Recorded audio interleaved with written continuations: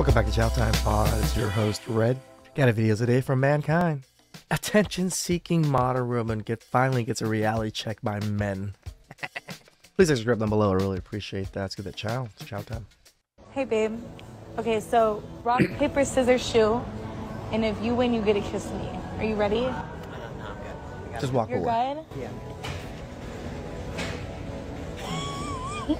I don't care. I'm based. Would you ever date a trans woman? I think that's way too much. I don't blame you. Give me a question. Way too much. We need to Give me a question. How many girls need attention? No one. If you're pretty enough, you'll get attention. Is that why you came into this interview four times? Wow, That's so I bet you. Hey, we're going.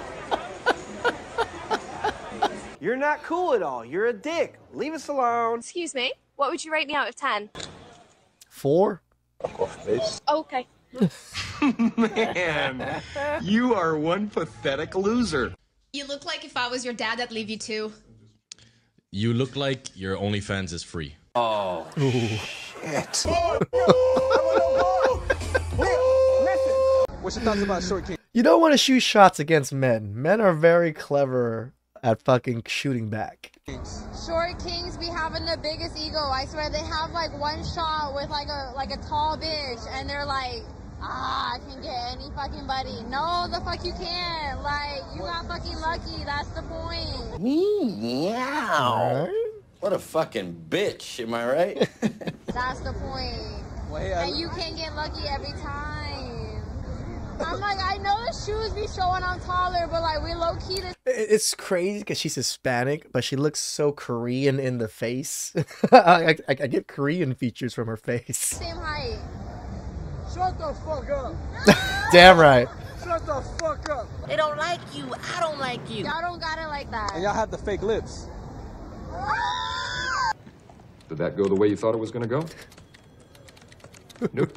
These women got some fucking nerve, bro. Like, total lack of awareness. This idea that just because a man happens to be short, he's not allowed to be confident. Like, where do you get off? Honestly, because where does your confidence come from? It's Fuck, I'm confident as fuck. I'm five seven. completely fabricated. Like you said, you got fake lips, but you also got caked on fucking makeup. You got fake nails, fake lashes. lashes. Looks like your hair is dyed. You, you, you probably got padding in your bra because it looks like you're flat chested. You Yeah. got like three inches True. on, on your platform sneakers. And not that I give a shit what you're wearing, but you're out for a night out and you're dressed like a seventh grader. So your style is shit too. So I ask you again. The monkey on her chest is is pretty funny because she has her own face on her chest. again, where does your fucking confidence come from? It is completely fabricated and it would disappear with one wet wipe. So why don't you shut the fuck up? Your mm-hmm. eyes are fucking beautiful. I'm not with this TikTok shit. He's not with that thing I say, yeah. I'm not over there. You're a four out of ten. Go. No, I don't want to kiss. No, Get away from me. Bro, I'm scared. She's for the streets. She's a whore. She's a four. Oh, she's a whore. She's a four. I like that one. So she interrupts a random guy walking down the street who clearly wants nothing to do with her. She starts by sexualizing him, then trying to force herself on him, and when he refuses and responds, she proceeds to physically assault him, kicking him, chasing him down the street, and hitting him. Like, Alright. what the fuck? Honestly, I don't see any double standards on display here. Let's move on. Hey, pepperoni nipples. I still can't believe you let me do that to your face.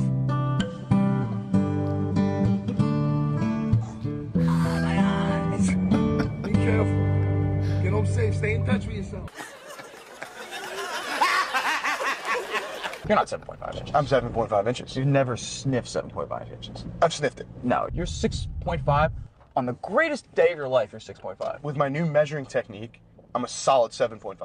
That's because you're measuring from your asshole. Does it look like I care? Whatever it takes, all right? Whatever it takes. Man driving a car hits a woman. Whose fault is it? The man's. Why was he driving in the kitchen in the first place?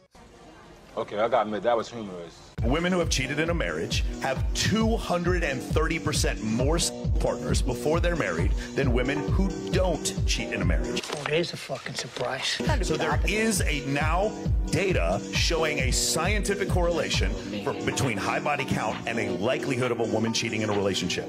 Now the data is over. The, the question that you had on here before, that's a fun question to ask, we don't have to ask anymore. Does body count matter? The answer is yes. Oh man!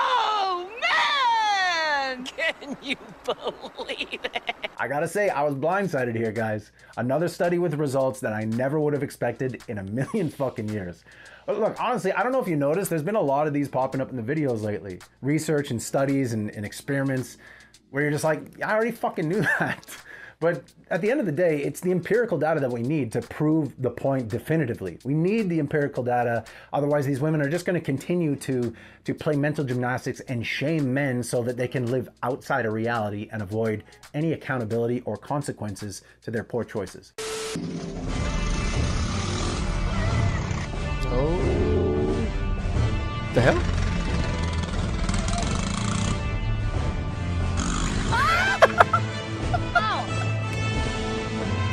Gotcha, bitch. Standing on the train and look at all these men. What happened to giving up your seat for women? No man offered me a seat. Excuse me, are you going to get up? What? Are you going to get up? Are you pregnant? No. Are you for equality? Yes. Well, No respect. Chivalry is dead. Equal rights for all. Yay! Yeah, she's right. Chivalry is dead, or it's at least dying, and it's no fucking mystery who killed it. Hey, just a quick daily reminder, if you're enjoying the video so far, please don't forget to like, comment, subscribe, ring the bell. You know the drill. I appreciate you. Let's get right back into it. There's certain jobs women should not do. There's a few jobs women shouldn't do. President, senator, congressman, cop, doctor, lawyer, fire department, banking, financial tech, math, higher education, uh, any education above third grade, uh, a chef, a manager of a hotel, CEO or CFO, COO, CIO of a company, investing, VC, venture capital, driving, driving Ubers, Lyfts, cabs, um, working at uh, aquariums or zoos or hotels, entertainment. You know, That's not ridiculous. That's not ridiculous to say that. I don't know, man. I mean, this seems awfully reasonable. He didn't even mention construction, military, anything like that. Bro is definitely a feminist.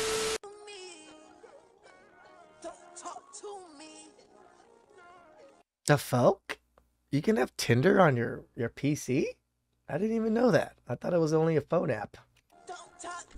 We got one, and it's a dude. Fuck! Talk to me. Every time. Man, this is some bullshit. Every time. Give a woman a choice date a 20 year old male virgin or a 40 year old successful male lawyer who's bedded 100 plus women.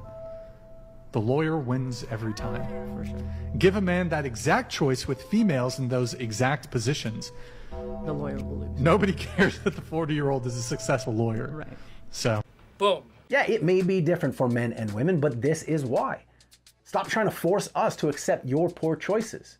It's really clear cut when you put it like this. There's no arguing it. I just think it's a really sad statement towards modern women and feminism when this has become your fight. This long, drawn out fight over what? So that women can get ran through as much as possible and force men to accept it.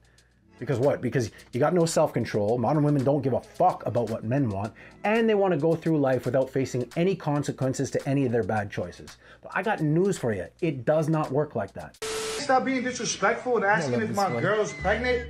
She's not pregnant, okay? If she wants to gain weight, if she wants to eat all day and she don't want to go to the gym and she don't want to go on a diet no more, if she doesn't want to care about her health, and she doesn't want to look good anymore, it's okay, okay? That's on her. This is her thing and I support her, okay? All right? If she don't want to go to the doctor and figure out if there's issues, if she wants to stay constipated, that's on her. It's her decision. So leave her alone. She's not pregnant. Wow, man. Uh, damn. Being loved is a female trait. Be completely unlovable. Be a man. Wait a minute. Wait. True. Wait a minute. Oh, major I love today this. in my soft guy era. So I, I went haven't to seen this one in Walmart a while. new It's nice to get back uh, to it. bulb for my uh, car. I'd gone out and I was looking in the manual to see which um, exact bulb I needed, and someone, some woman came up to me and asked me where the car floor mats were. Uh, it's such a major ache I took, and I yelled at her at the top of my voice. Do not approach men in public, you creep. Drizzle, drizzle. Drizzle, drizzle. Such an ick. That's what you get. So it looks like this so called soft guy era is underway, gentlemen. But look, you know what I find funny about all this bullshit, all the bullshit going on right now, is that most women really don't fucking see that all of it is a response to their actions. Yep. But they are so used to pointing the finger, blaming other people, shaming men, calling them sassy that nothing ever changes, it just gets worse. I mean, they don't even see that Drizzle Drizzle is a complete mockery of the Sprinkle Sprinkle bitch, who is a perfect mascot for why all this bullshit is happening in the first place. True. But if I had to guess, I'd say that most of the guys saying drizzle drizzle right now don't actually want to be doing this shit because it's not in men's nature. But I'll tell you what men don't want even more. That'd be me.